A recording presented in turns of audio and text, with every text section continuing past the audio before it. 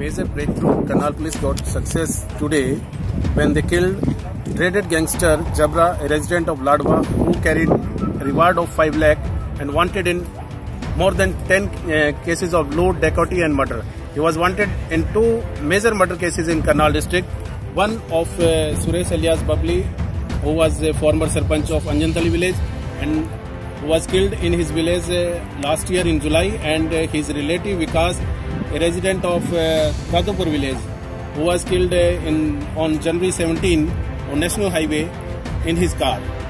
Commandant of police Surendra Singh Bhoria confirmed that uh, they got a, an information and uh, police uh, installed a barricade near Naval village and uh, after uh, seeing the barricade of police uh, he diverted his route and uh, he came uh, on this uh, route in jungle of Mughal Majra and uh, Badagaon.